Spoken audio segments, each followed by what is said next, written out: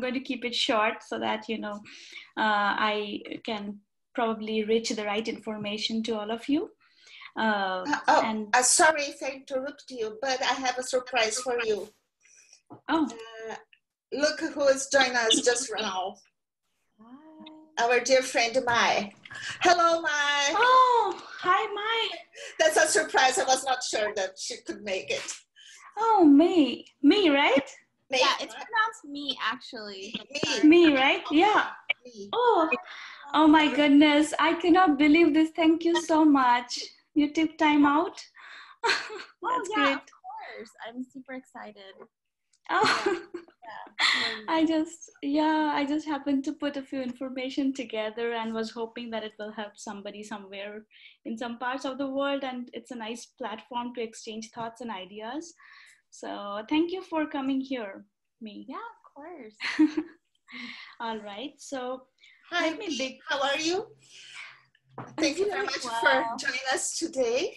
Yeah, and hi everyone on the that I uh, have not met yet. Um, yeah, um, Eloisa reached out and invo- invited me to join this call. So um, I was previously with Scratch for the past five years, uh, and now I'm at an organization called Digital Promise. But I'm still super uh, excited about you know like all the ideas uh, uh, that are within the community. So excited about learning more. Oh, that's great. Thank you. Yeah, thank you. Just, just for, you know, uh, here today we have people from many countries. Uh, first LCL friends and people that we met around the world.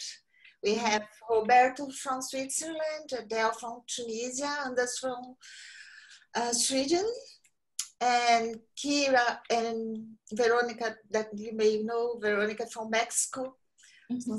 So, and Mohan and I. so I think you, you, you have already met the most of us. Yeah.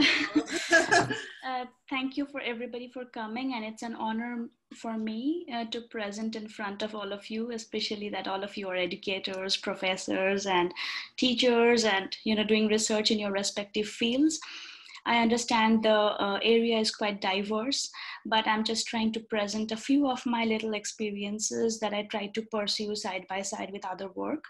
Uh, and I'm just going to give a little bits and pieces of information in terms of informal education that I experienced traveling to different parts of the world and uh, some about computer science technology that I experienced as a student that other peers of mine experienced.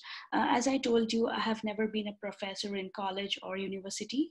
So um, most of my information has been gathered either through my personal experience, interacting with kids from different parts of the world, or uh, from uh, my uh, you know fellow colleagues and peers who are professors who are peers and i have tried to take a survey uh, you know understanding what they have to say about education in different parts mainly including india and canada and parts of US that I traveled. So I'll not, I'll try to keep it short. Um, so yeah. So just uh, in case you don't know uh, my background a little bit, and the reason I'm telling about background is because it's important, uh, especially uh, to understand the source of information where I'm getting all this from. So I was born and brought up in India, and I lived in the United States for four years uh, and then moved to Canada recently, like last year, 2018, uh, as an immigrant. Um, I studied computer science and engineering in a university in India, and after that, uh, worked full time um, in information technology, data science. That's my most, uh, you know, covered area, mainly business intelligence.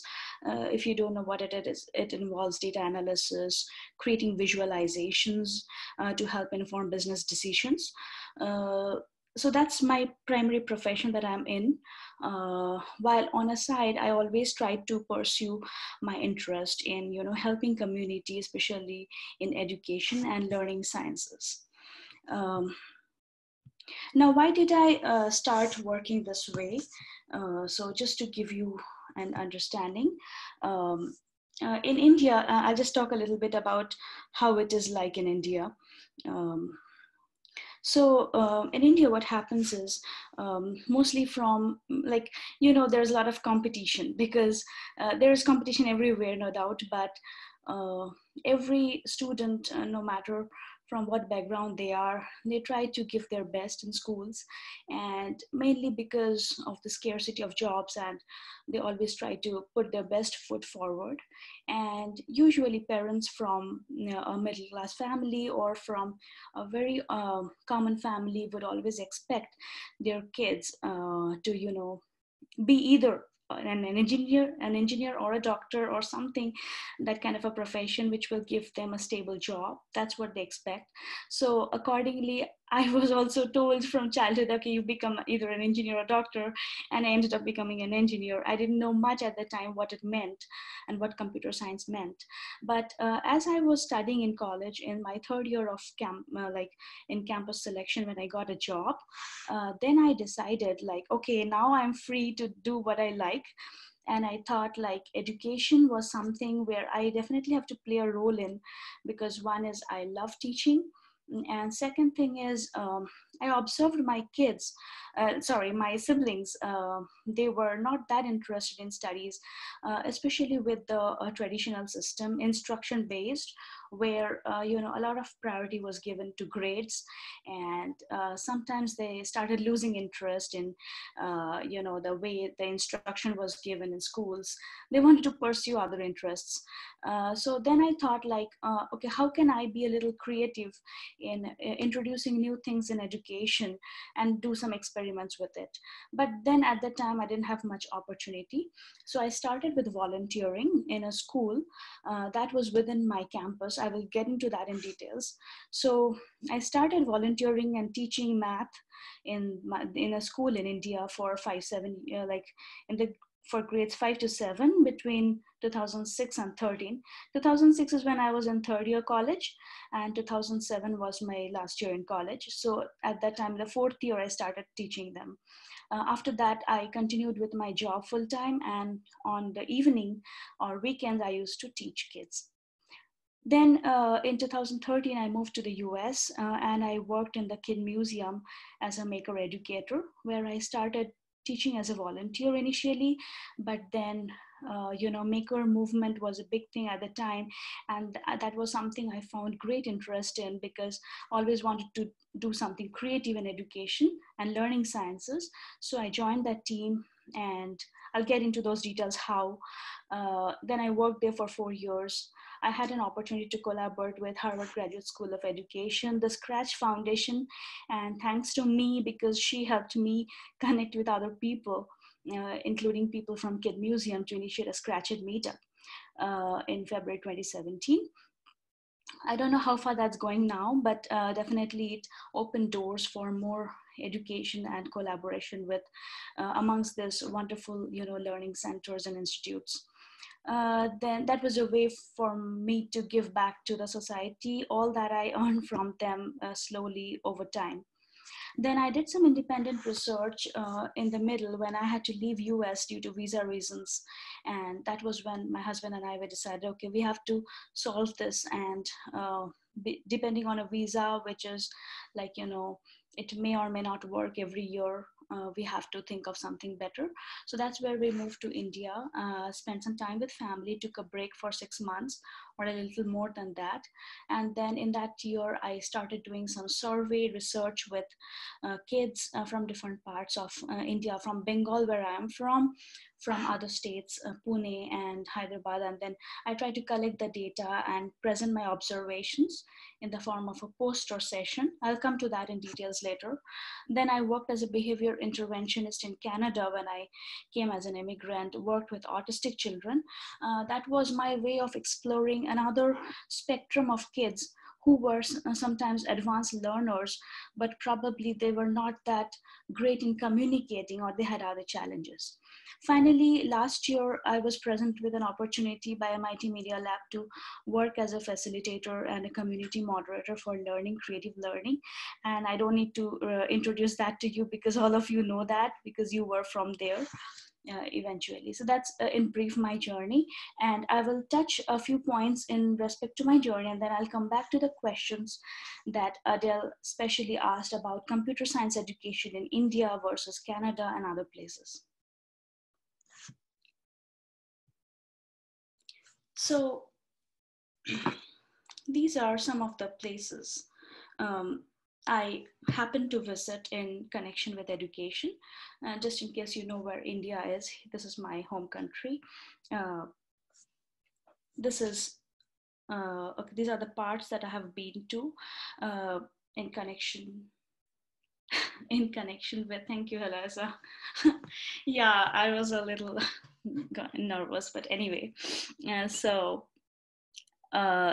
these are the parts that I happen to visit and uh, mostly in connection with children computing and education. Um, I'll get into those one by one.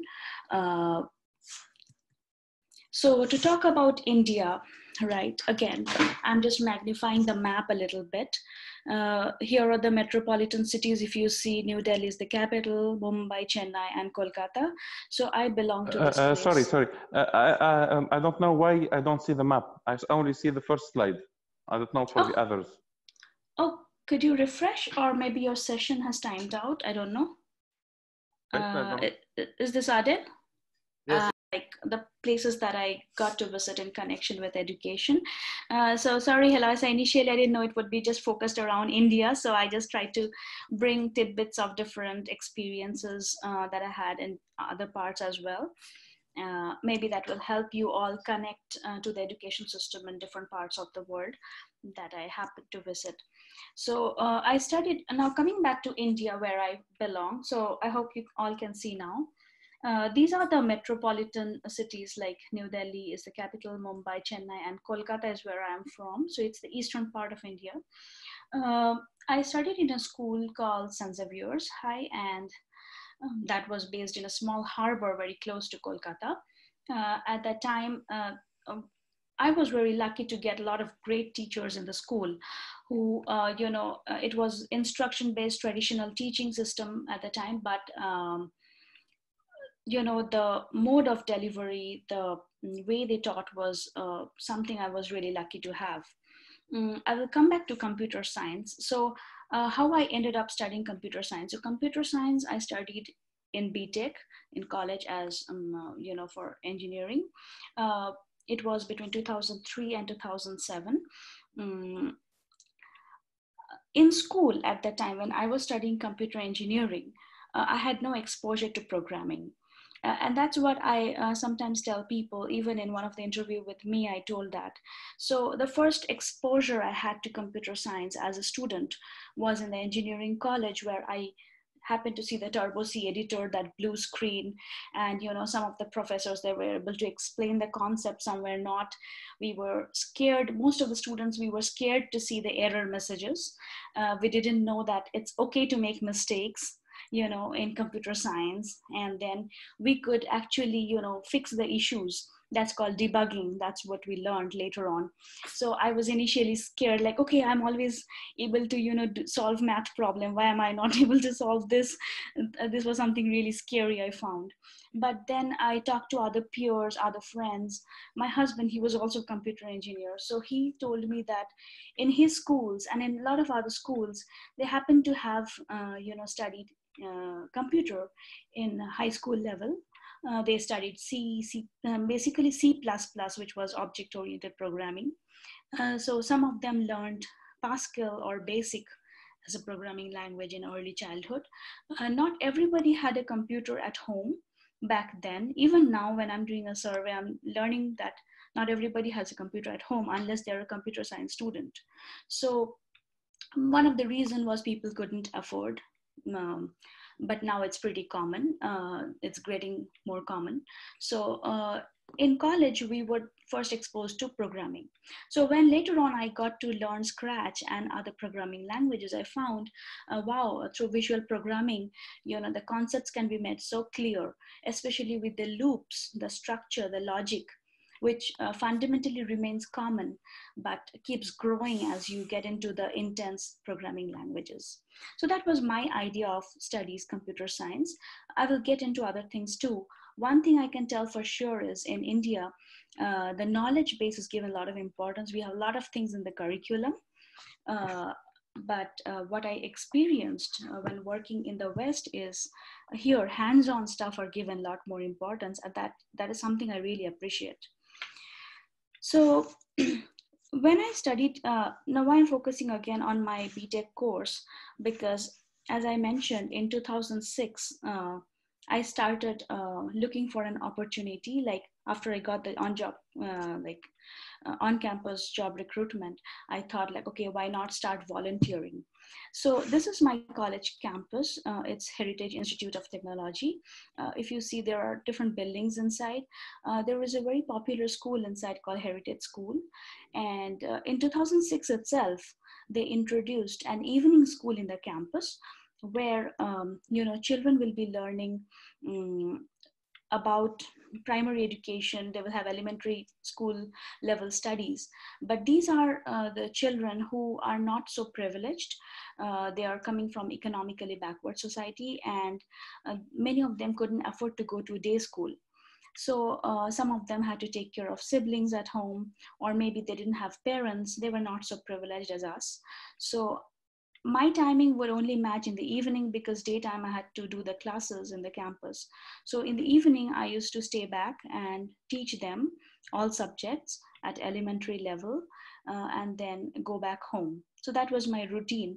And I thank uh, everybody there for giving me that opportunity to volunteer because I learned in this way about one part of the society uh, who are not so privileged as us uh, one of the reasons they came to attend those school was the amount of milk and snacks they were provided, you know, free of cost um, in the evening. That that's pretty sad, but that's one of the reasons they came. And then they started finding more interest in studies and continuing to learn more and more. This is a glimpse of the you know children that study in the Surya Kiran school that I used to teach. Uh, they have indoor activities, outdoor activities, for students. Mm, they have writing, drawing sessions. Prayer service is one of the important things because that's how through meditation we used to, you know, assemble them together, help them learn discipline because their background was so diverse that they didn't have a proper, you know, upbringing or maybe parents to take care of them at home. Excuse so, me, Mohona. Uh, may I ask you something? Uh, just to understand it, this is a uh, school uh, provided and everything is provided by the government. It's a public school. How is, does it work? Because okay. here we have many mm-hmm. kind of stuff, but we don't have this kind of public school here. That's okay. Yeah. So, uh, so let, sure, I will tell you. So if I go back to the slide, uh, that's a very good question, Heloisa. Thanks. Uh, so this is a school that was initiated by uh, an NGO a non-government organization called Kalyan Bharti Trust. Uh, so under the aegis of Kalyan Bharti Trust, uh, they accumulated fund to kind of sponsor the school in the evening. Mm, so the heritage school, which was a day school, that was meant for, you know, people from the uh, well-to-do families from affluent backgrounds who could afford. And that had pretty uh, lot of amenities in the school facilities like uh, you know swimming pool gym uh, playground for kids computers lots of things were there for their activities. But during the evening uh, this school was run by the trust called kalyan bharti trust who actually bared all the cost. Okay Thank you. And does uh, do you have any other uh, schools like that in, around India or in this so, region of India? How is that? Sure. This so, is an exception. Just sure. Yeah, there's an exception. So in India, like there are government schools, there are public schools, just like in US and Canada and other parts. Uh, there are private schools also uh, which are you know they people have to pay a little more to go to those schools. But unlike uh, here or in other parts um, like uh, i will get into that comparative study like how it is there versus here. Uh, so some are sponsored by government they're public schools they're relatively subsidized and people can afford to go to those schools. They're private schools also for people who want to learn extra you know it depends on families like what you would prefer. Um, there are good schools from both the uh, areas like government as well as uh, like public as well as private.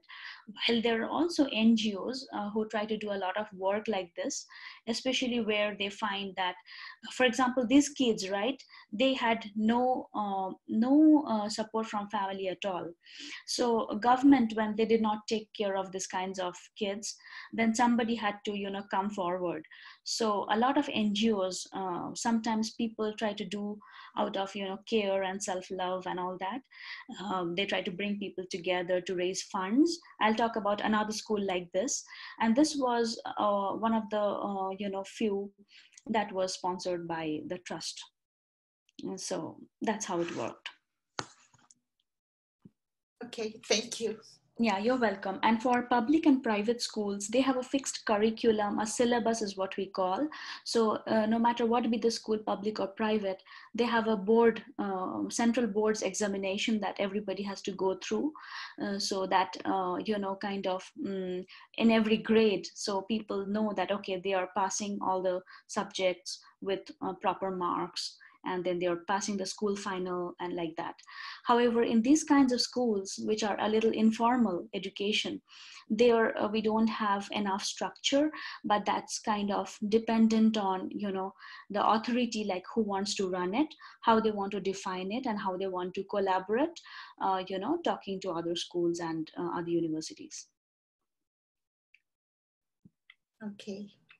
So the, uh, after I uh, taught there for a year or so in Kalyan, in uh, that school called Surya Kiran, um, uh, my um, kind of term closed because I was no more a student in school, in the university, sorry. And then I uh, eventually joined a job called Tech Mahindra, which was uh, which based me in Kolkata. So I was lucky enough to continue my work. Uh, so there was another school founded by We Care Foundation, and I'll tell you the history of it. So this We Care Foundation, they are like there is a, a, a person. Uh, uh, a very nice lady who was in our community. She uh, was, uh, you know, a homemaker initially.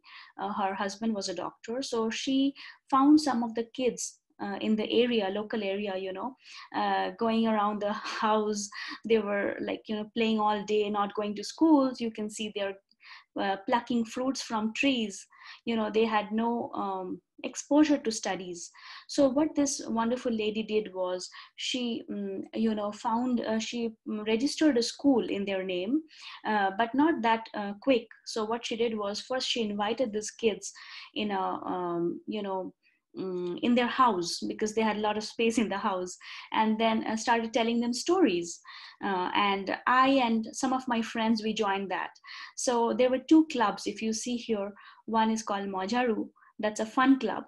Uh, and there is another parallel school called notunpat I used to teach in Notunpat as well as I was a part of the fun club Mojaru, where we used to gather the students, you know, make them sit in a circle and they would listen to stories from nice novels interesting literature subjects and then they would be taught uh, you know in a playful manner. They were taught how to do dance drama and through those uh, you know atmosphere uh, came up new new methods to learn.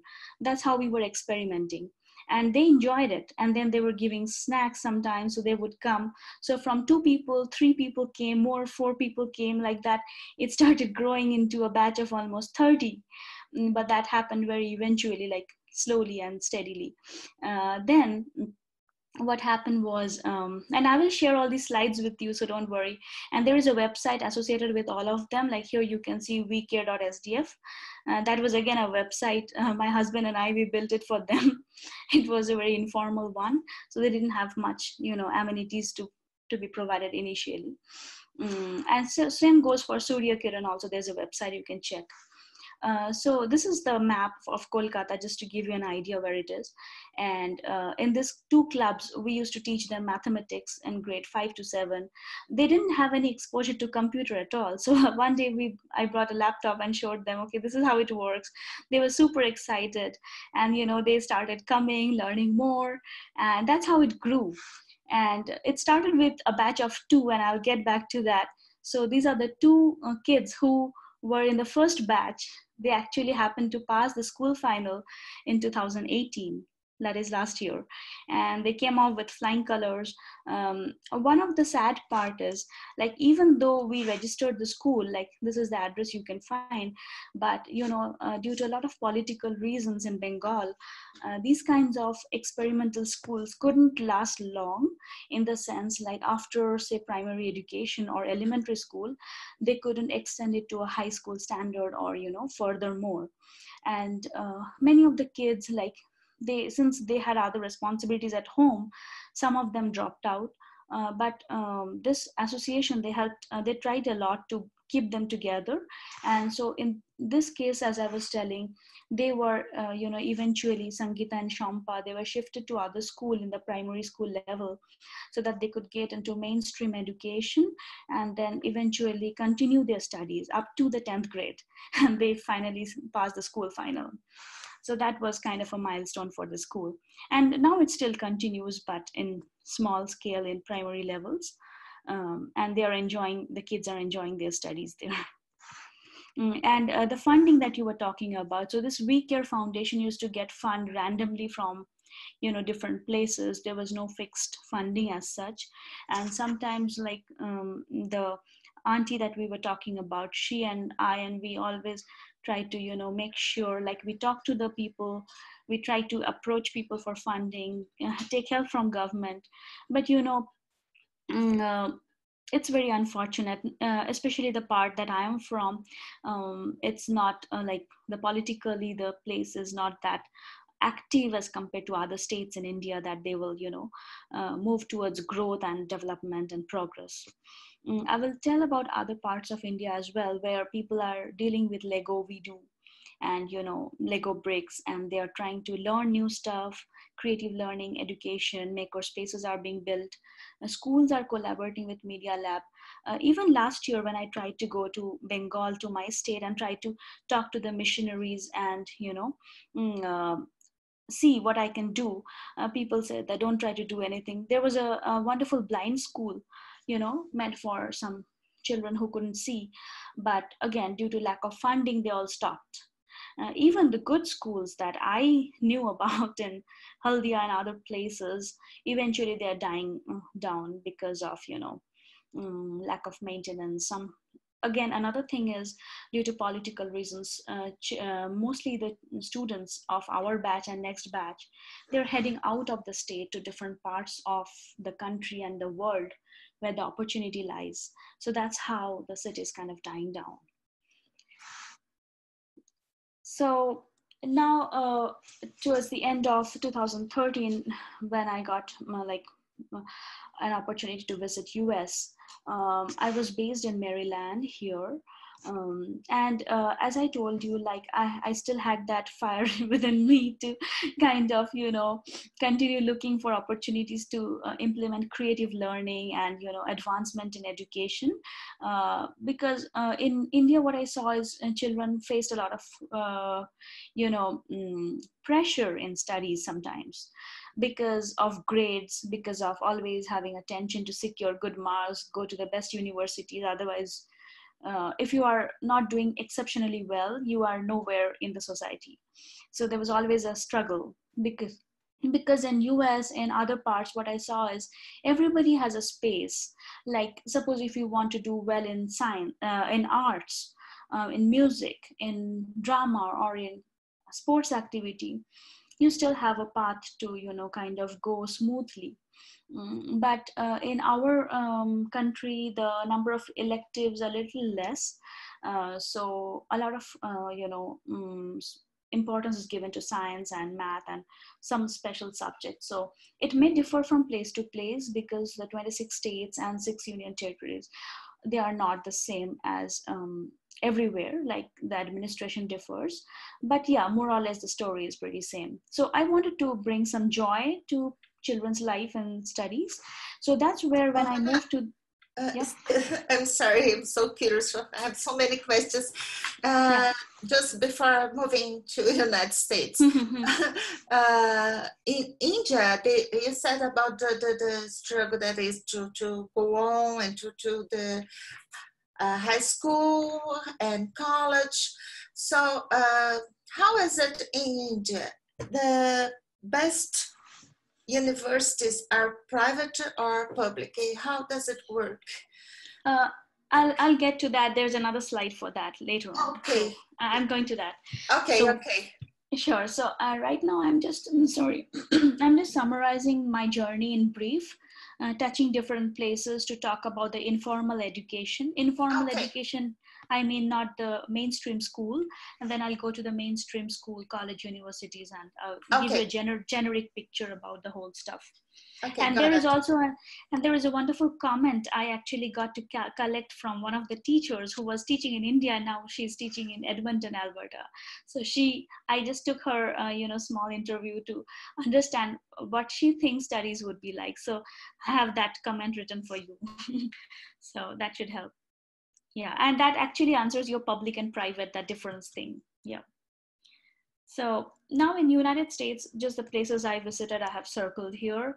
Um, there is not much to explain. You know a lot about it. Uh, so at that time, maker movement was given a lot of importance.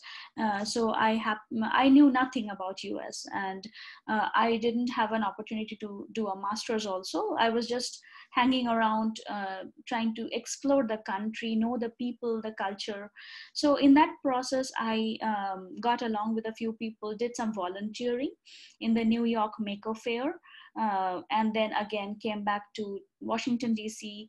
in the Silver Spring Mini Maker Faire. I volunteered, helping kids learn about making, about science.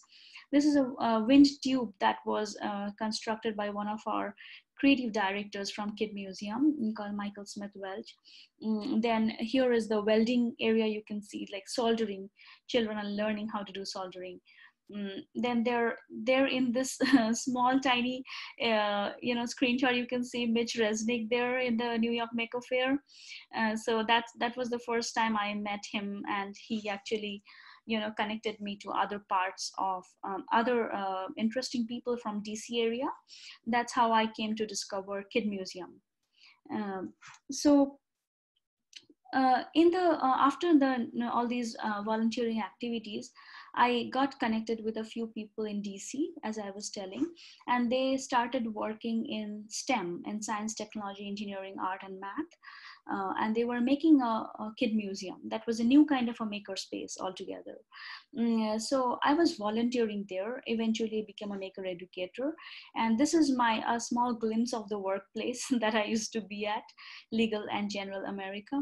So when i was talking about business intelligence visual um, you know visualizations dashboards that would help business decisions. This kinds of work i used to do in the day.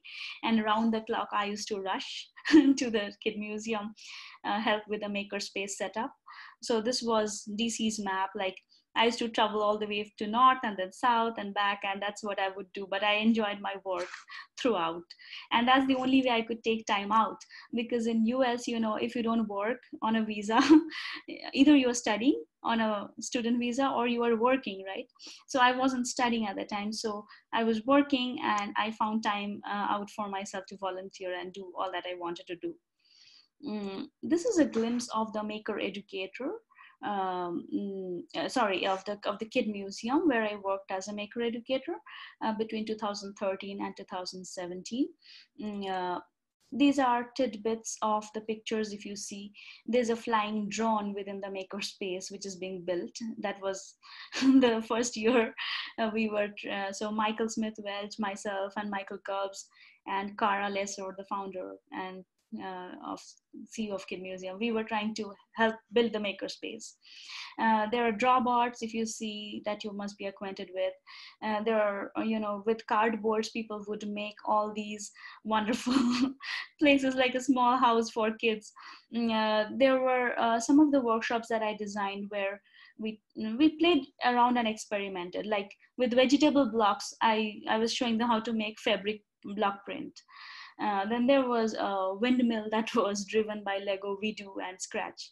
Uh, so these are small tidbits of um, you know the experiences I had in the museum, uh, and through this work, I not only had an opportunity to you know design workshops for children in informal education setup, mm, uh, but also had the opportunity to you know go out to outreach activities you know held in other public places like libraries like schools, even in shopping malls, stadiums, because at that time it was a museum without walls.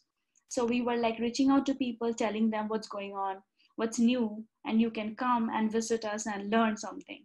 And uh, unlike in India, where I happened to work with children who were not so privileged and not economically um, doing well, here uh, the kids and their parents, I found they were spending extra time after work, after school, to kind of help children learn all this new stuff about creative learning and experiment and science and technology.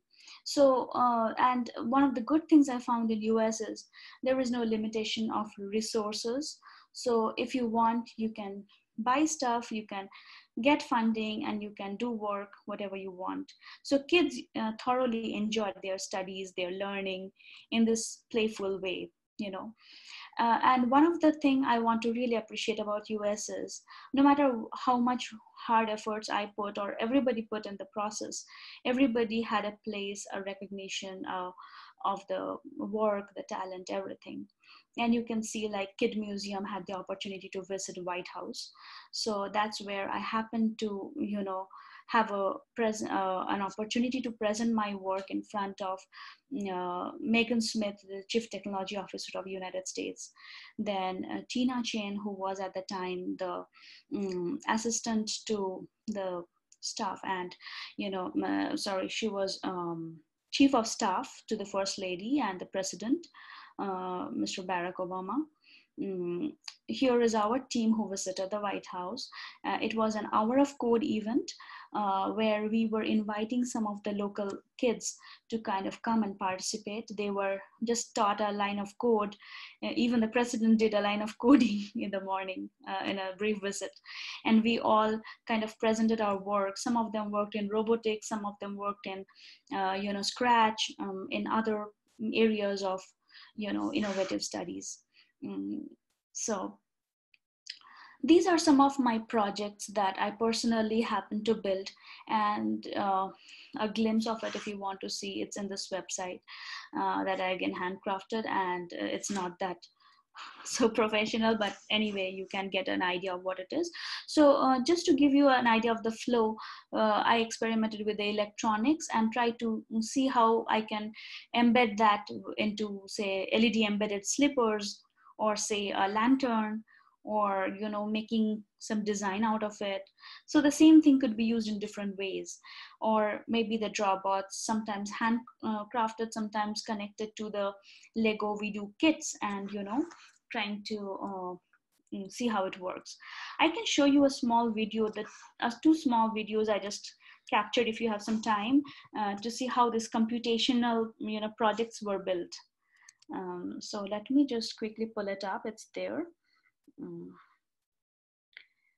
So one is a theremin. Um, if you see, uh, it's um, it's something I did in my own personal makerspace. So here, if you this is there's an ice block, uh, and there are electronic circuits. Um, you can see. Um, which are which are like connected to a breadboard and this whole connectivity is being made through human hands you know? So the uh, when you are touching the ice and you're touching the piece of metal on the other hand the circuit is being built through you and that's how the sound is coming. So it has been programmed. Then there is another i wanted to just quickly show. This was on scratch.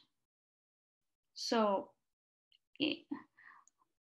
sorry, on a scratch day, uh, this was a small code that I wrote to kind of help people know how we can connect uh, programming to the physical world using Lego WeDo.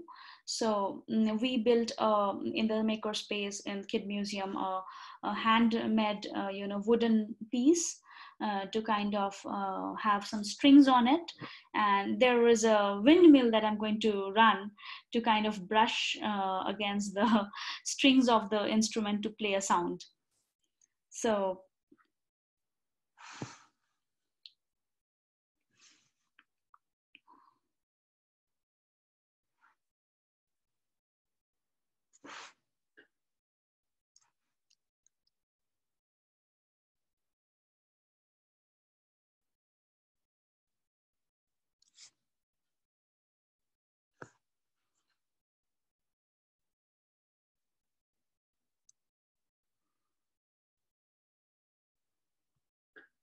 yeah so a few glimpses of the projects um, that we try to build. Now um, then i realized eventually while designing the workshops that uh, you know knowledge is knowledge has to keep growing. You know you have to learn from more other sources talk to people and understand what's going on around in the world uh, me, uh, she was very, uh, you know, she was a very nice friend of mine. Eventually, she came to know me through Scratch and these activities. She told me, why don't you go attend this uh, coding summit? Like uh, there, there, was a wonderful summit conference, you know, organized by MIT Media Lab at Cleveland, Ohio, where they were with, I think, Progressive Art Alliance. Uh, which was a collaborative effort to you know connect dancing and coding together. So I happened to learn a bit of hip hop. Though I worked on other dance forms before, like classical Indian dance or maybe uh, Western dance, uh, like, you know, a little bit of moving from here to there.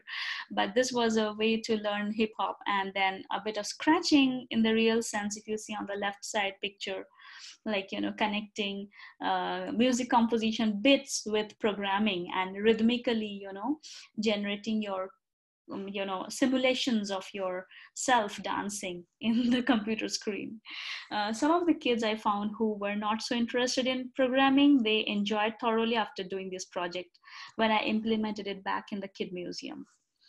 Um, then i went to scratch conferences uh, to kind of learn um, in uh, cambridge like uh, you know um, uh, what they have to offer about scratch.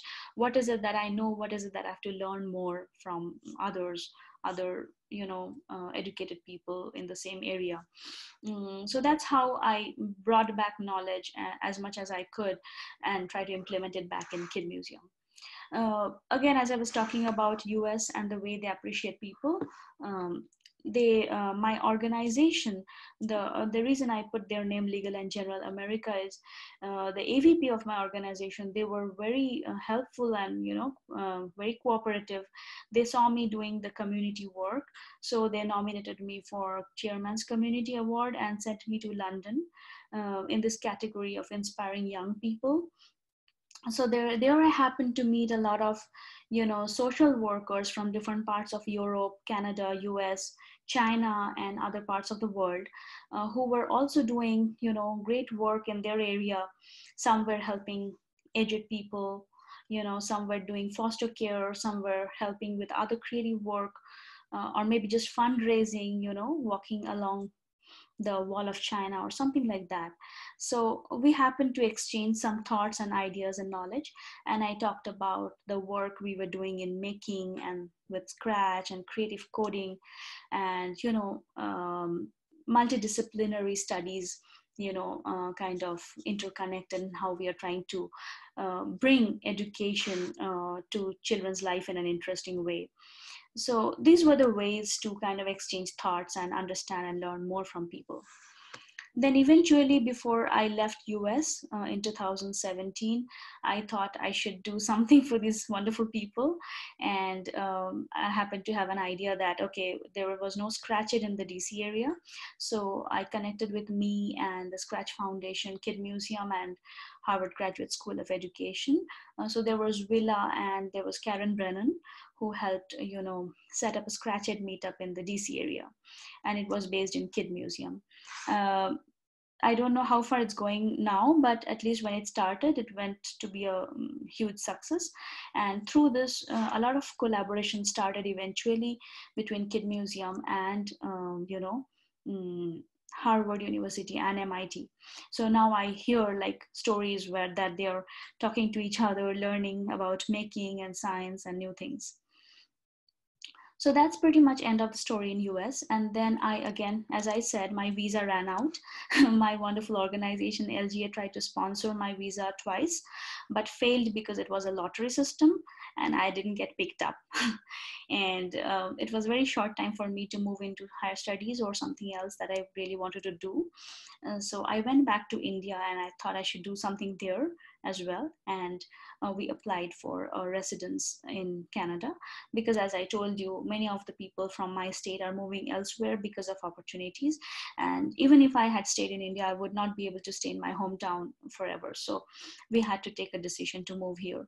Um, and in India, when I went back, I, I thought, okay, what can I do? What can I do for the people? Uh, so I had some time in hand. So uh, first thing I did was I attended the LCL course that gave me some insights and knowledge about the um, what's going on again in creative learning around the world. And then um, I did some survey um, uh, going door to door and also visiting my relatives, friends, cousins, their kids and telling them about Scratch, about how Scratch works. So there was a diverse background. Some of them were really lonely kids. It's very unfortunate because not everyone has a sibling. Mm, so they, uh, they they fell in love with Scratch, and they and then I was noting down their reactions, their observations, and uh, I did it in Kolkata. I did it in Pune. As you can see, as compared to Kolkata or Bengal, in Pune there are lots of uh, see there are advanced shops uh, there are even Lego shops. So my nephew, he's kind of playing around with the toys and trying to build some structure on his own, um, while he's also keeping himself busy in drawing and other activities. So um, this gave me a, a, an insight once again in a with a fresh new mind that how things are going on in India and what else could be done uh, I think I I was quite, you know, um, going in a speed. If any of you have any questions, uh, please feel free to stop me. Otherwise, I will give you some time slot at the end to talk more and more. Is is everything good so far, or like you yes, know? Yes, it's super. Okay, thank you. Mm, okay, and uh, and don't worry about the notes. I will share all these slides later on and also I think Heloise is taking a note of it. So, okay, uh, now coming to the next part. Um, sorry, can you see the slides now? Yes. Okay, great. So let me move on to the next one. So this was the small uh, presentation I did in a, uh, as a poster uh, in Scratch uh, conference in 2018. Um, that was a way for me to, you know, present the work that I did in India um, and later continued a little bit in Canada. Um, and I'm thinking of uh, developing it more uh, when I get time. In 2018, uh, when I moved to Canada, um, the first place I visited was British Columbia in 2018 this time around i thought that um, in us i was always balancing between two jobs. In india i was balancing between two jobs. Here i will take a break and see what i can do. But in a new country you know taking that much big risk is sometimes difficult because you also have to support your family and yourself. So for a while i worked um, with uh, autistic kids uh, because um, there um, in there was a consulting firm called bridge kids. Uh, what happens in canada is unlike in us um, hi veronica can you did you lose connection?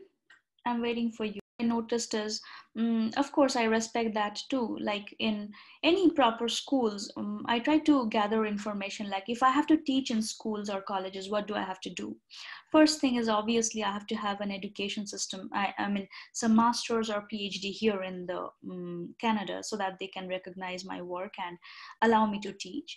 Uh, but till then i wanted to gather some experience. So and i wanted to work hands on with children and see how i could extend my previous knowledge so in this uh, Bridge Kids behavioral consulting firm, though it was more like a, mm, you can say a kind of um, uh, attending kids through behavior intervention, which is more psychological.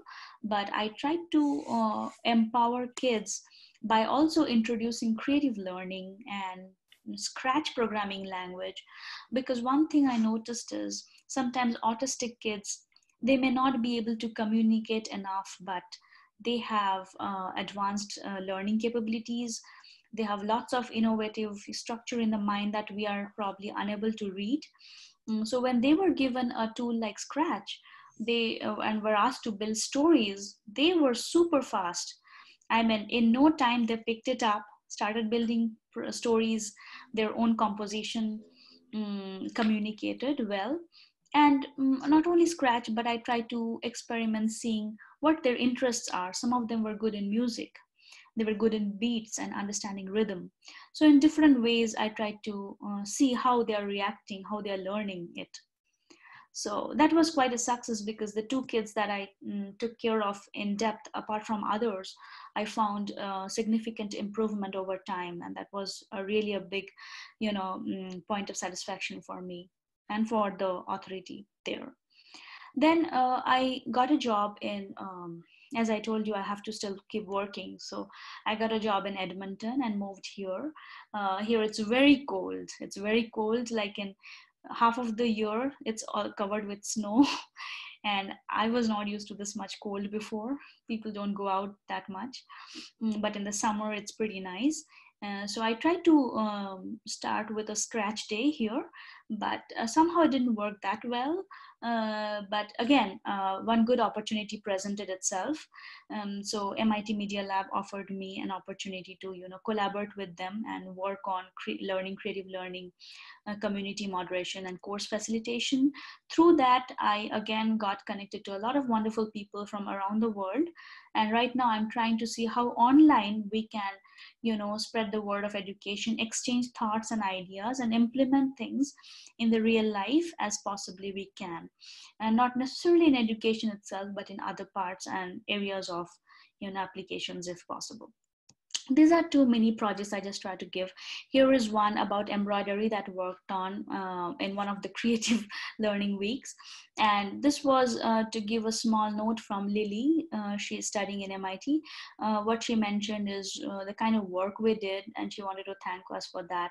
This were the other participants, like Veronica was there. She did an excellent job with translations.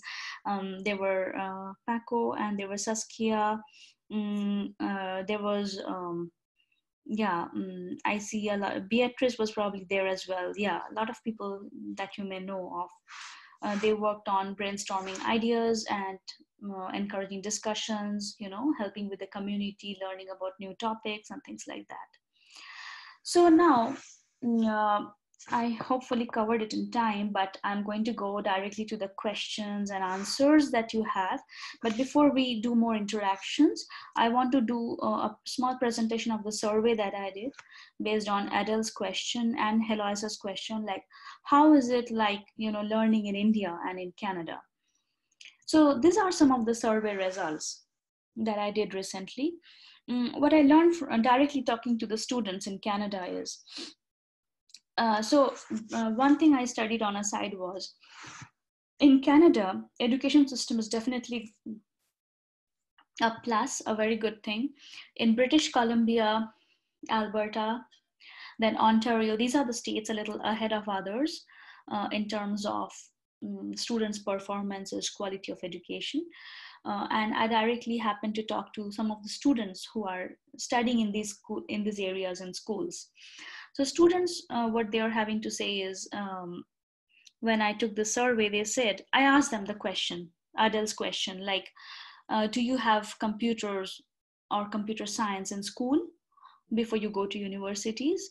Uh, then they replied, uh, one girl said it's compulsory. Uh, sorry, it's not compulsory, like it's an elective subject that people may or may not have. Some of them said they do not have computers at all in school uh, in some of the parts of Canada, they don't even have a middle school. So they directly go from elementary to high school. Uh, in some parts, like in British Columbia, when they where they had they had middle schools and high school, they said like, okay, computer science was a subject, and one of the students attended it, and I asked the student like, what did you learn? Uh, I mean, how was it? Was there any programming languages introduced? So they mentioned like they studied something in high school called um, video editing, you know, how to do basic things in computers, uh, deal with a lot of app, app, apps and apparatus, and then how to design websites using HTML, CSS, this programming languages. They enjoyed it, even though the student was from other backgrounds like they loved music or arts but they enjoyed coding i talked about them and i told them like do what is the strength of boys in the class? What is the strength of the girls in the class? Do you think like girls enjoy coding? Uh, she said yes obviously i love it. And then she said that her sibling she's studying computer science in ubc in masters and phd mm, so they are happily pursuing computer science in future studies. Um, I asked them, what do you do when you get stuck? So they said, like, we have supporting materials online. So both students and teachers, they try to browse them and learn from those, you know, free um, study materials available online so that was one of the survey. Then i talked to parents. I talked to my colleagues and asked them like how about your kids? So they most of them had kids in elementary school level. They told me they are introduced to language such as scratch so they know about it. And they also have other elective subjects computer other than computers. So it depends on who wishes to pursue what. Accordingly they are you know encouraged to carry out in that language or in that particular subject. So these are the happy faces. If you see, these are the smiling faces because these are the positives that I happen to note. Uh, I didn't want to put it on slide, but just for your knowledge, uh, purely in terms of survey results, what I got, these are the negatives that I received in Canada. They said, some of them said, honestly, the students told me that they have a lot of pressure. Why? Because everybody has to perform well. It's grade-based system some of them complain like not all teachers are unfortunately that well equipped or that well knowledgeable. Uh, so some of them take care of kids some of them do not and there will be preferences and differences definitely. Uh, they talked about unequal funding. What they said is a lot of government funding goes towards uh, science and technology and those uh, subjects while arts music other things are given less priorities compared to that so not enough funding. So even though they select as electives there is a little trouble there. And i still don't know what that in details is. I have to learn more from them or myself if i experience. Uh, there are lack of computers in some schools. As i told you not enough places have computers uh, mental health was an issue that I that was something very strange to me. But one uh, one or two students said like sometimes due to tremendous pressure of performing well, uh, students tend to suffer from mental health. And good that it's a developed country, so things are diagnosed and they are treated at the right time. Uh, I also interviewed one of the public school teacher as I was talking about. She um, moved from India to Canada. So she was teaching in India and now she's teaching in Canada for five years in a public school. Uh, so Heloisa, this comes back to your question. Uh, if you see the highlights, and I will definitely give you the snapshots and you can get the details, so no worries. Uh, she said that when I moved to Canada from India, I left behind not only my family, friends, but a very thoroughly satisfying teaching career. And one of the things when I personally asked her, she said what she missed was the enormous amount of respect coming from students, which maybe depends on the culture a little bit, but she's adapting to it. Other things are like in, um, she's uh, in her third, uh, so if you see here in my third year as a public school teacher, I'm still learning she mentioned about uh, some of the striking differences like uh, the popularity of public education here. And that's something i found too like a lot of people give importance to public education. Public schools are very good here in us and canada. However she said like and opposed to what she faced in the home country where it was private schooling okay in india Mm, of course, that's true. I know that. So the classrooms and the students, she said that here it's technologically more efficient. Definitely, that's a good point. So it makes work easy for the teachers, right? Mm, however, she made a nice comparison that there is a traditional teacher-directed instruction in India, while here it's an in- inquiry-based learning. and i hope you can understand that better because i think what she meant is probably inquiry based activity based learning more hands on stuff maybe things like that is what she meant. She also talked about fnmi history. I'm not very sure about it. I have to learn it more. Mm, and she she enjoys like learning so she's into it.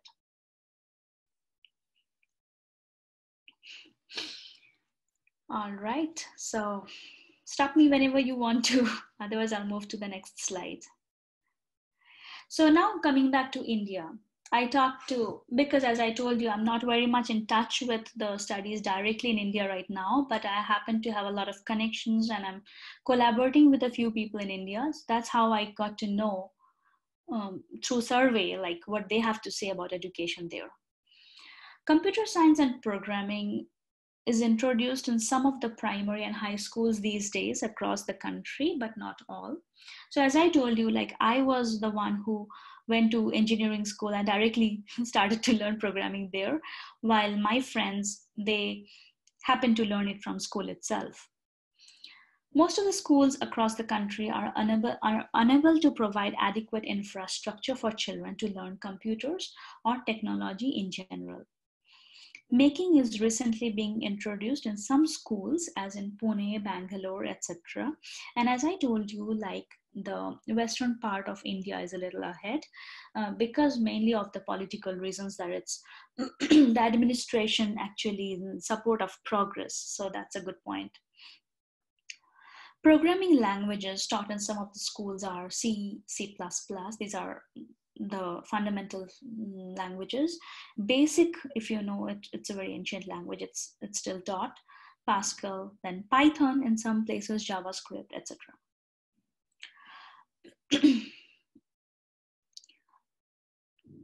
so in western parts of India, as I mentioned, uh, Bangalore, Hyderabad, Pune, Mumbai, there uh, slowly and gradually uh, activity-based learning is being given importance to.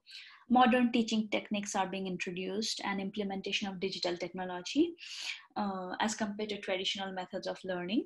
Um, there are good things happening. Like when I was talking to a, a person uh, I was recently collaborating with, she said that a lot of awareness was not there initially, uh, say about basic human rights, about girls' position in a society, how they are supposed to be treated, and all that.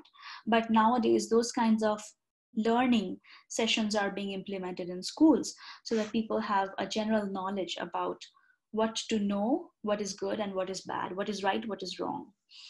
So, mm, because from the state where I belong to, uh, girls are pretty progressive and a lot of good things happen there.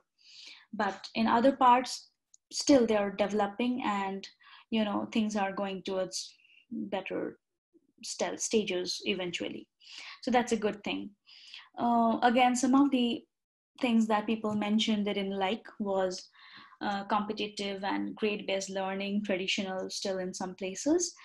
Teachers and their pay scale, which is a very important, mm, uh, very interesting part I found, that was there a long time ago and still now is there.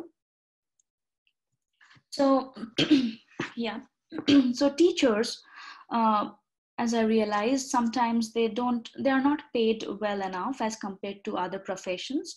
Uh, probably that's one of the reason many um, good students even from school happen to move elsewhere you know in other professions unless they genuinely want to contribute in education so that's a, um, a very sad thing but we hope we can do something in that area lack of computers in some schools as i mentioned political interference in some states which is really getting worse um, quality of education at primary school level as some of the educators told me that the quality of education, basic knowledge has somehow um, not been up to the mark in the primary school, which is supposed to be. Uh, because unless their math and their science and their basic concepts about every subject is cleared from childhood, uh, the foundation not being strong, they will not be able to make enough advancement. So that's important. Um, however, that was one of the limitations somebody pointed limited number of electives. So as I told you, like I had two options, either science or commerce or arts. And in commerce would deal with business administration. Arts, I had to study either history or geography. And then in science, I had to study either biology or statistics and computer. So uh, maybe suppose if I wanted to study, I'm just giving a random example. Uh, something with geology and something with other combinations or psychology or something. Um, yeah, things are growing now, but back then in the board examinations, we had limited options. So I never thought I could continue to, you know, be a very good uh, music artist or something in future, even if I wanted to. Mm. There are definitely ways, but there's a lot of struggle. This is uh, another survey I did uh, from Professor Kundu, um, and I just brought the points if you want to take a note.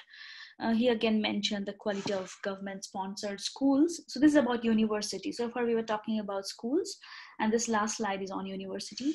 Mm, so the quality of government sponsored schools have deteriorated. That's about, again, about Bengal, West Bengal that he's talking about, my hometown. The good thing is they have introduced computer nowadays, but infrastructure is not adequate everywhere private schools are better off in that sense. Again, the students are not getting enough time for grooming themselves. They're feeling a constant pressure to complete homeworks, private tuition, private computer classes, etc., which is a growing concern these days. As a human being, students need to improve as well. Above all, too much political interference in some of the school level, university level, uh, so there are lots of reputed universities, and let, let me tell you something. A lot of Nobel laureates happen to come from West Bengal. Uh, there was a golden age. There was a period of Renaissance where uh, people were good in literature, like Rabindranath Tagore was born there. Um, Amartya Sen, the economist who uh, was a Nobel laureate again, was from Kolkata, Bengal. Uh, there was Satyajit Ray, the movie director who won Oscar for doing films exceptionally well. He was from Kolkata. There was a religious leader, Swami Vivekananda from Kolkata. Uh, lots of good scientists were there in Kolkata and Bengal. But uh, the same universities like Presidency, like Jadavpur, like good colleges are not being able to keep up to the level it was before because of a lot of political intervention, unfortunately. Though IITs, like the Indian Institute of Technologies, they are still uh, performing pretty well. And some of the best of the best students are still learning there so that's pretty much the whole story and again this professor mentioned about pay package again which kinds of work as a hindrance and reason for people to move out of this profession thank you for listening to this so-called long lecture i don't know how far i covered but i tried my best to put things together for you and if there is any question please feel free to ask and i can also learn from you if, if something you want to correct in this whole process because i'm just starting to work Thank here you. Uh, now uh, we're going to start. I believe that we have a lot of questions. So Adele, you can start it, please. Thank you, Mohona, for all this uh, presentation. It was really, really interesting to see uh, your journey uh, from India to US, come back to India, Canada, to see uh, that you really love uh, teaching, and I really loved uh, your all your path. I have a lot of questions about uh, but that's fine. I mean, you answered already one question about uh, the the education uh, in Canada and in in India. So what I see here, for example, in Canada and even in India, in high school level, there is a lot to think in middle school and high school level. I think there is a lot of of things to do to bring computer science in every curriculum. I was expecting, for example, in Canada, that the situation will be like more uh, better, uh, that everybody will be studying computer science, but it seems no. I mean, uh, uh what do you think about this? So that's a very good question. And um, honestly, I will admit it, I'm very new in Canada. I just came in 2018, this is 2019, and I'm still not into the education system, the academic field uh, in that depth to know enough. However, um, I just, because you raised that point one week ago or two weeks ago, I just happened to take, uh, you know, notes from some of the websites, some of the people that I happened to talk to. And these were uh, survey results based on students' opinion and mm-hmm. one or two teachers and also some of the parents who were helping their children learn in elementary and middle schools. Um, mm-hmm. One thing I noticed is um, I also uh, thought that way, like Canada would be definitely great in studies. And you know what? Uh, maybe I am wrong. Maybe uh, in a lot of universities and a lot of schools, colleges, a lot of things are introduced that I'm not aware of. I have to do more uh, detailed study and research on that to learn better. Uh, for example, I stayed in the university campus, University of British Columbia, uh, for two weeks, and I uh, I try to learn from the students and the professors there. There are lots of great research work going on in different fields in computer science. And when we talk about universities, computer science has a lot of applications, right? Not just only in the industry about artificial intelligence or machine learning or, you know, uh, implementing things in data science and other areas, but there are also not only this automation and robotics, but there are different applications. I'll just give you an example. Like there research going on, suppose and uh, people suffer suffering from PTSD. So for them, how can computer help? How can coding help? How can different uh, science uh, applications help? There are lots of researchers in different fields. And one of the great things that I that I so these are people's opinion that I accumulated together. If you take my viewpoint as a newcomer in this country, what I faced is suppose I'm just giving an, a very simple example. If I go to the hospital or if I go to a public place, uh, some kind of records that we are happening to collect that is directly going to the university so that students can do more research on that.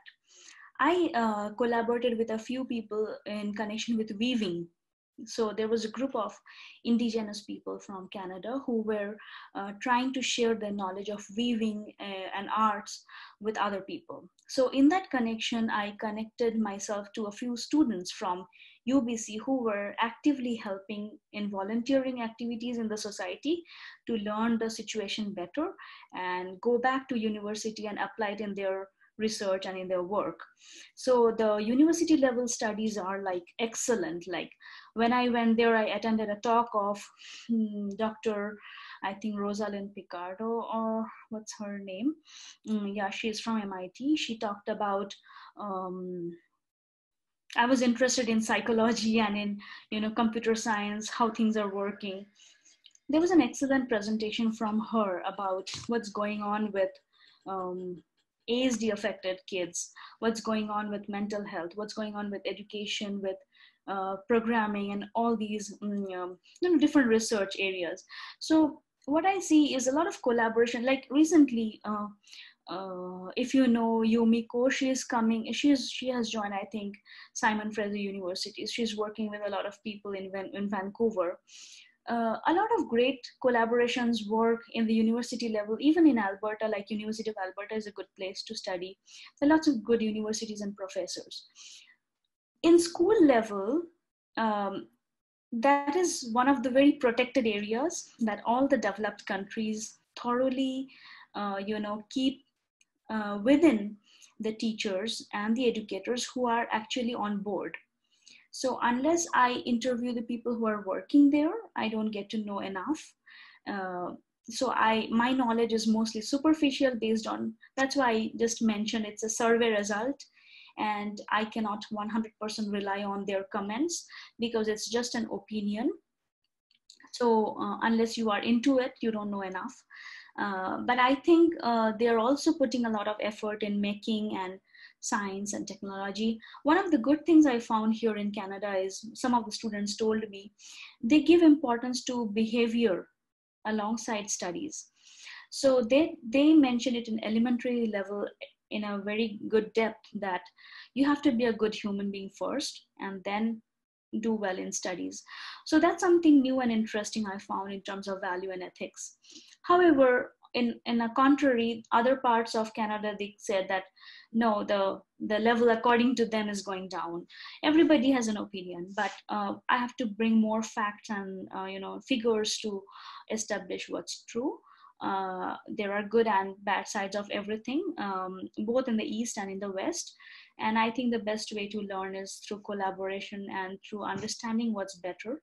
Mm, and I think university level study is uh, tremendous here. So uh, nothing against that at all. But uh, for schools, I'm still to learn more.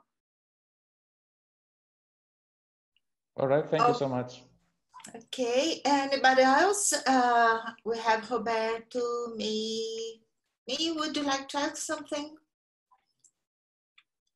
Mm, no, I don't think so. I just really appreciate what you shared, Mohona. Um, and I know, like, I knew you during your uh, your time in Maryland, but it's still great to hear like more context around the actual work that you are doing um, day to day. So yeah, I really appreciate it.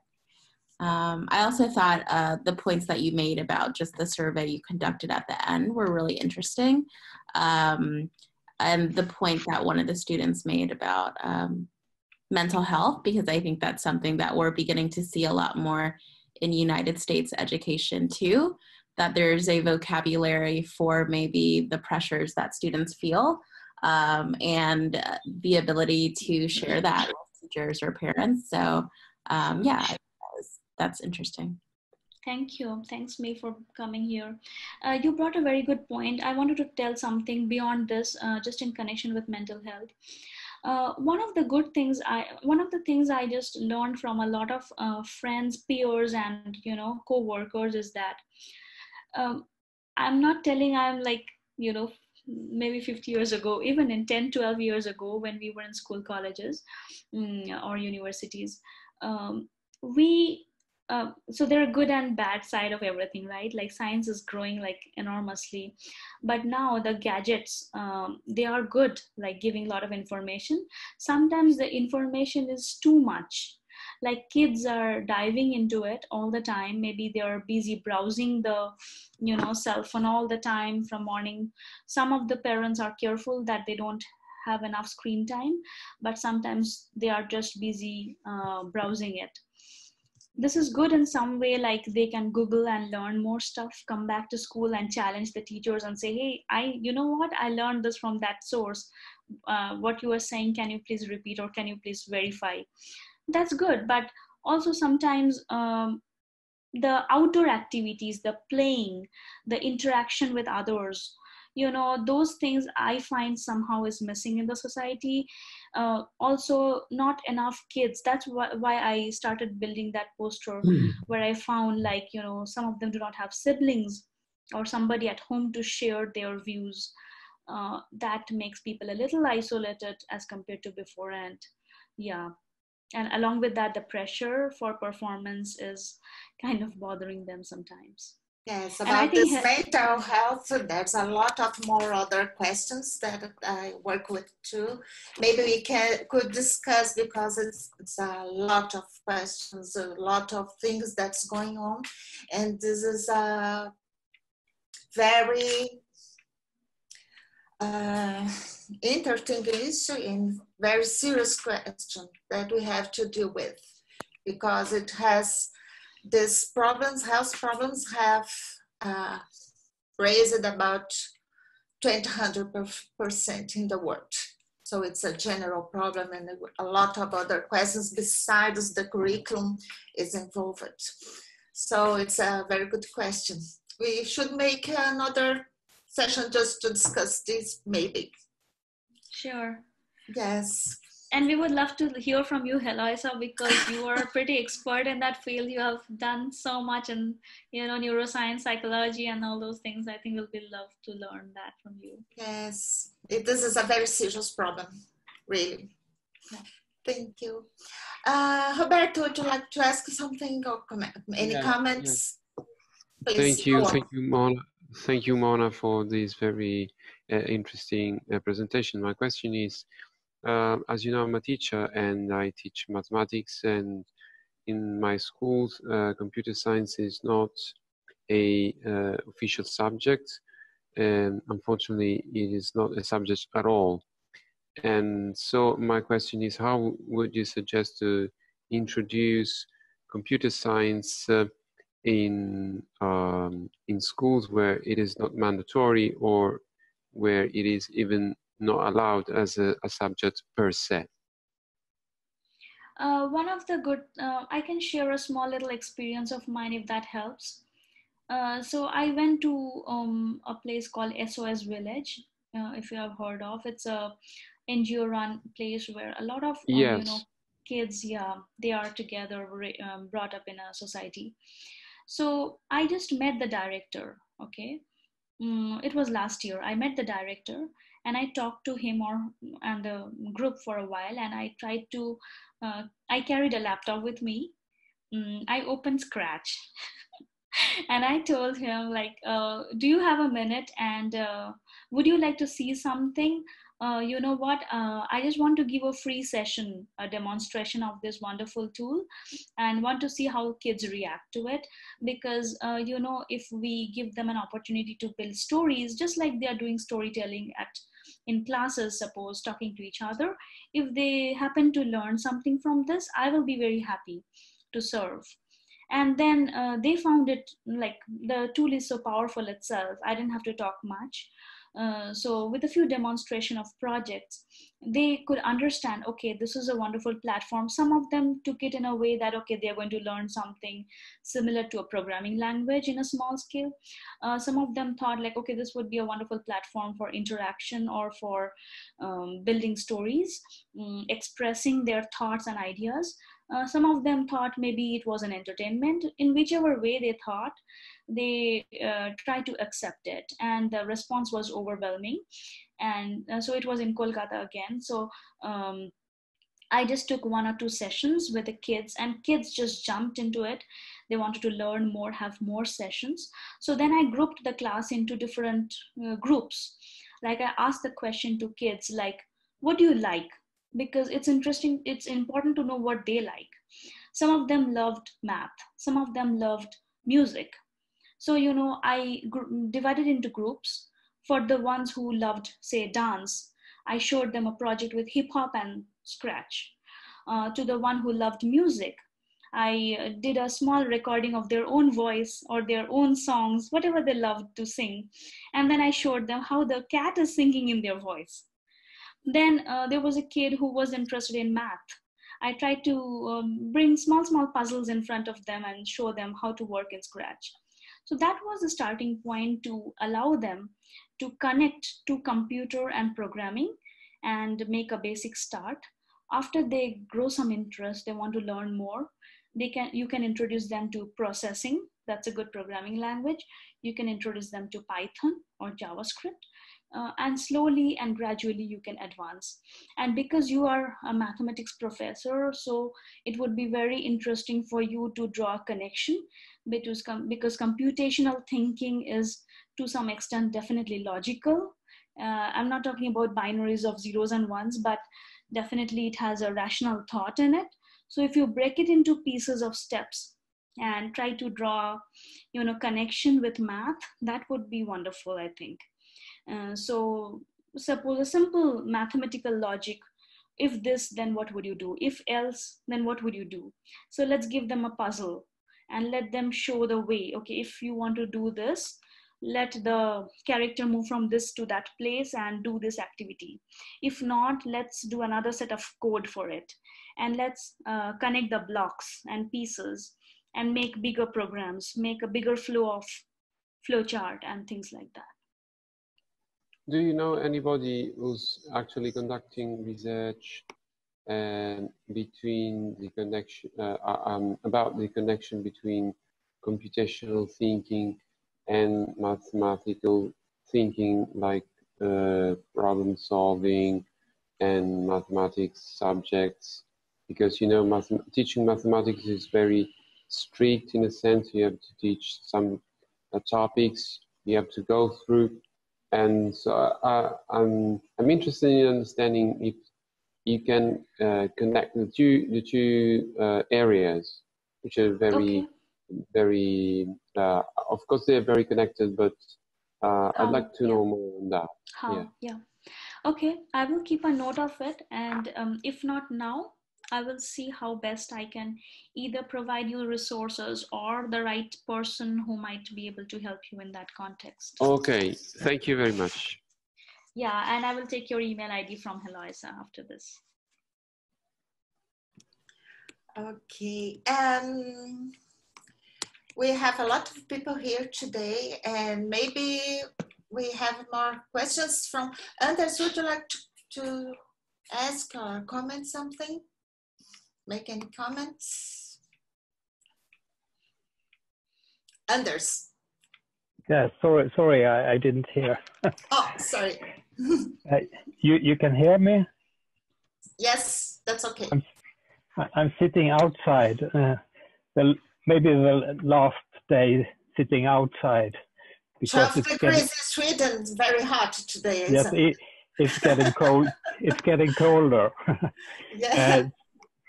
Uh, uh, first, uh, the presentation, I just love it.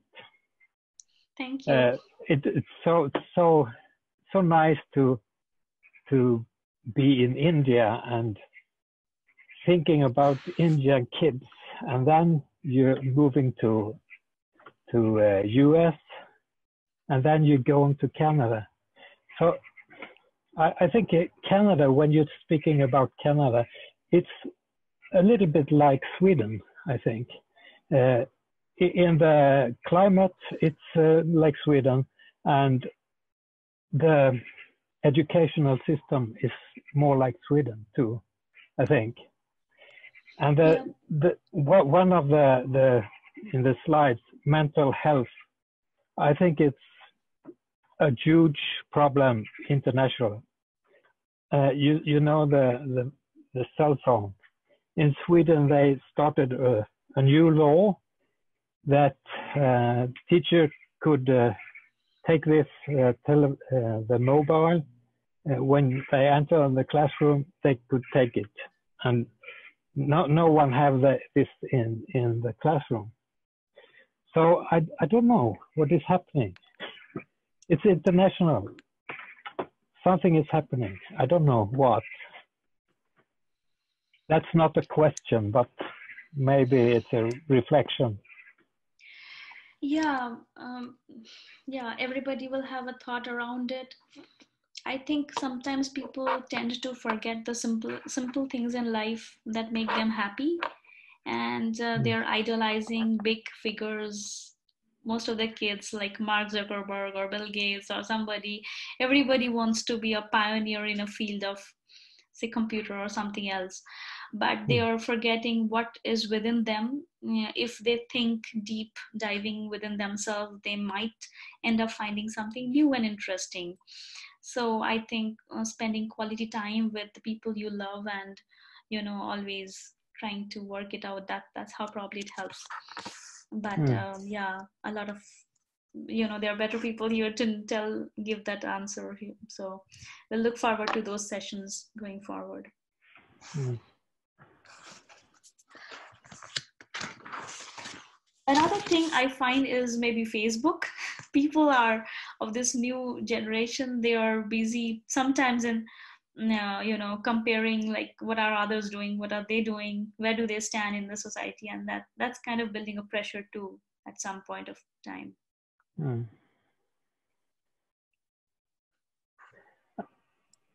okay. i think that they they were a little bit uh, they they told they made a survey with kids. And they actually know that the cell phone is uh, taking up so much time. They don't have time to other things. So maybe the kids themselves are getting into, okay, this is not so good. Maybe I just put it away one hour. Maybe. I don't know. I hope so.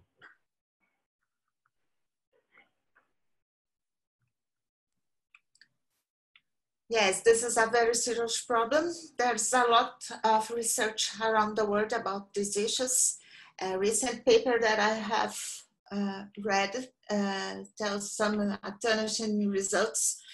Uh, they say that um, they compare just the time the kids or people in general, mainly the younger people, use cell phone, only cell phone, not on, in, uh, including computers and other stuff, just with cell phone. After two hours, they have 30% of risk of mental uh, problems related to depression and suicide. Two hours a day. After five hours a day, it's 7% of the risk of having health problems, health problems uh, related to depression and suicide. It's a very serious problem. I have been working a lot with my students and because they are just uh, it's a vicious, so vicious thing. So I asked mm. them, I used to ask them, why do you have your cell phone here? Why do you have to have it? Let's try to put it one hour, as you told, one hour out. Keep it on your back. Here, you don't use it. And then they say, oh, they gave me the feedback. Oh, it helped me a lot to concentrate, to do my homework, to study. And yes, it's strange. I don't know why I keep it here. So it's try try this with the, the kids. It's it's very impressive. And by the other side, not only the kids, we see that the parents are not uh, emotionally available. I can see in the park uh, young mothers with their babies in the uh, strollers or things like that, and like this, they push in the, the stroller and but they are not paying attention to the kids. So it's crazy, Hi, what's happening? So it's a very serious problem. And I'm glad to, to know that in Sweden it's prohibited now. it's, it's a very strange step. So This is a very serious problem, indeed. So coming back to the mathematics and computer science, um, are you you you sharing this, Mohona?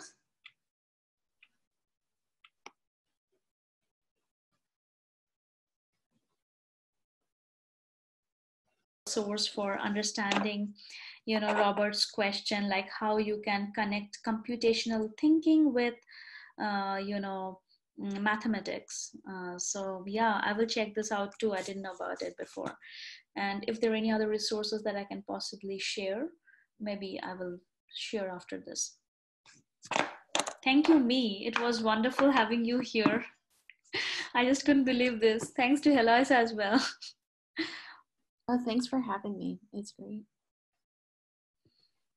Okay, I think we are finished by now because for sure we have a lot of questions and things to share and exchange.